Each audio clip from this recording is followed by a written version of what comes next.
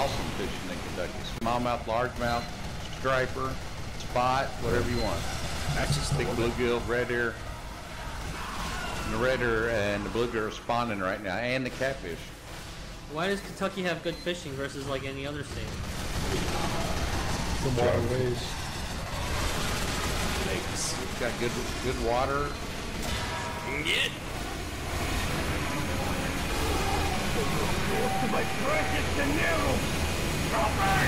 Push it in, Blue. Push it in.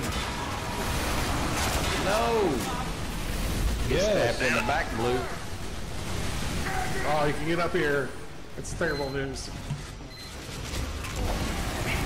In New York, um, people's pastime is they, they bring a um, like an anchor, like a big hook, the rope. They throw it into the uh, the harbor, and then they pull Huh. garbage out of it. You gotta move that gear up.